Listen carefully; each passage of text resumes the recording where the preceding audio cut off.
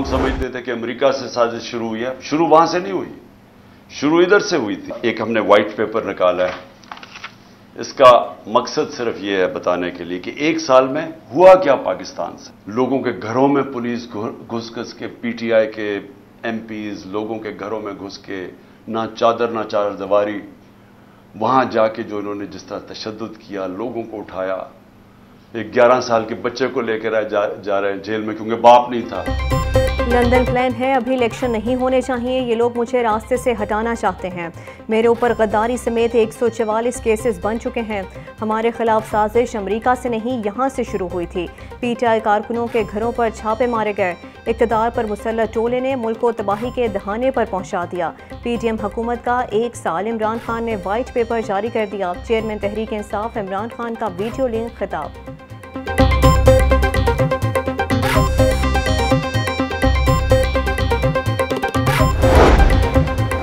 Election commission को funds की फराहमी पर फैसला ना हो सका। इलेक्शन कमीशन को फंड्स देने का मामला पार्लियामेंट में ले जाने पर इतफाक वज़ीर अजम की जेर सदारत विफाकी काबीना के अजलास की अंदरूनी कहानी सामने आ गई। काबीना अजलास में मुल्क भर में इलेक्शन एक ही दिन करवाने पर ज़ोर दिया गया। पार्लियामेंट सुप्रीम है, जो फैसला करेगी, उस पर अमल होगा। चार तीन का फैसला है, तीन दो को कैसे तस्लीम कर लिया जाए?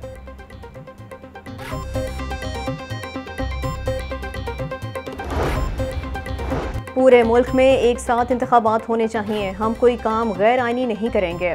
आइन में नबे दिन की बात है तो बाकी शिकें भी हैं, उनको भी देखा जाए। जस्टिस सतर मिनुल्लाह के फैसले ने और सवाल उठा दिए। वज़ीर अजम के मबन खसूसी मलिक अहमद खान की मीडिया से गुफ्तु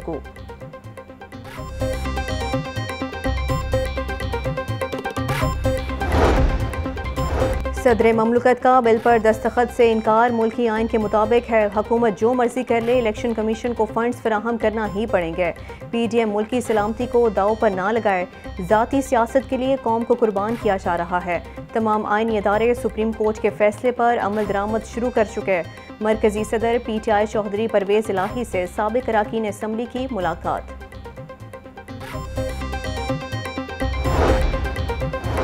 मुल्क की हालात का वाद हल, बाहमी मुजाकर हैं। एक या दो सूबों में इलेक्शन मसाइल का हल नहीं। आई एम एफ़ और वर्ल्ड बैंक किसी के दोस्त नहीं हैं। मुल्क में बदमनी महँगाई, बेरोज़गारी अरूज पर है। अमीर जमात इस्लामी सराजुल हक का तकरीब से खिताब।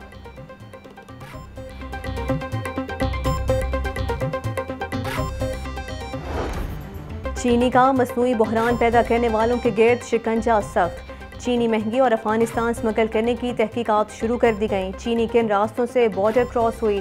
कैन कमिश्नर ने तफसीत मांग ली। जराये के मुताबिक अब तक पंजाब से चार लाख टन चीनी अफ़गानिस्तान स्मगल की जा चुकी। एक सौ तीस रुपये वाली चीनी अफ़गानिस्तान में दो सौ रुपये फ़ी किलो में फ़रोख्त हुई। चीनी की फ़ी किलो कीमत बढ़ने से मिल्स मालिकान को एक सौ पंद्रह अरब रुपये का फ़ायदा हुआ। सेक्रेटरी फ़ूड पंजाब मोहम्मद जमान वटू कहते हैं, अब तक चालीस हज़ार से जायद चीनी की बोरियाँ जखीरा अंदोजों से बरामद हो चुकी।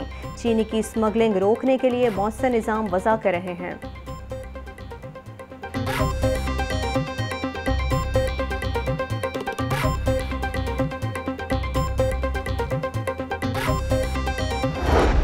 हकूमती सब्सिडी भी महँगाई की नज़र हो गई। अवामी रिलीफ के लिए बने यूटिलिटी स्टोर भी रिलीफ मुहैया ना कर सके। सस्ते स्टोरों पर अशाय खुरनोश की तादाद महदूद रह गई। रमज़ान मुबारक से कबल नवासी रुपये मिलने वाली चीनी इक्यानवे रुपये फ़ी किलो बिकने लगी। पाँच सौ अठहत्तर रुपये में मिलने वाले कुकिंग ऑयल की कीमत छः सौ छब्बीस रुपये किलो हो गई। घी चार सौ एक से छः सौ छः रुपये फ़ी किलो तक फ़रोख्त होने लगा।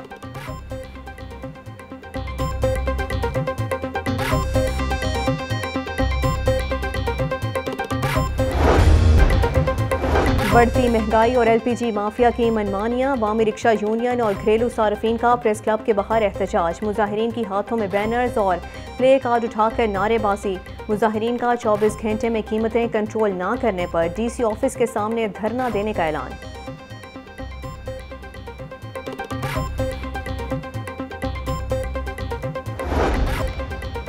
निगरान वज़ीर अला पंजाब की जेर सदारत रोड सेक्टर से मुतलक अजलास मोहसिन नकवी की पंजाब भर में जारी रोड्स के मनसूबे बर वक्त मुकम्मल करने की हिदायत कहते हैं।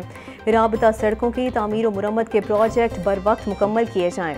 सड़कों के पैच वर्क और रोड शोल्डर की बहाली और तमीर को तरजीह दी जाए।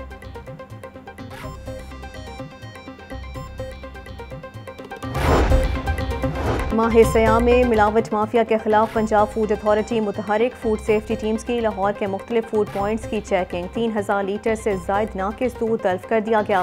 बयासी फ़ूड पॉइंट्स को इसलाही नोटिस जारी। खिलाफ वर्जी पर दो फ़ूड पॉइंट्स की प्रोडक्शन बंद। अठारह को भारी जुर्माने आयद किए गए। निगरान वज़ीर अला पंजाब का ईस्टर पर मसीही बरदरी को मुबारकबाद। मोहसिन नकवी कहते हैं, मसीही बरदरी मुल्क की तरक्की में भरपूर किरदार अदा कर रही है। मसीही बरदरी की खुशियों में बराबर के शरीक हैं।